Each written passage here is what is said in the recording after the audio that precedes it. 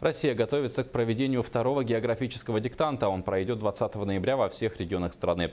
В прошлом году Якутия стала лидером по количеству участников. Тест в республике прошли более 7 тысяч человек.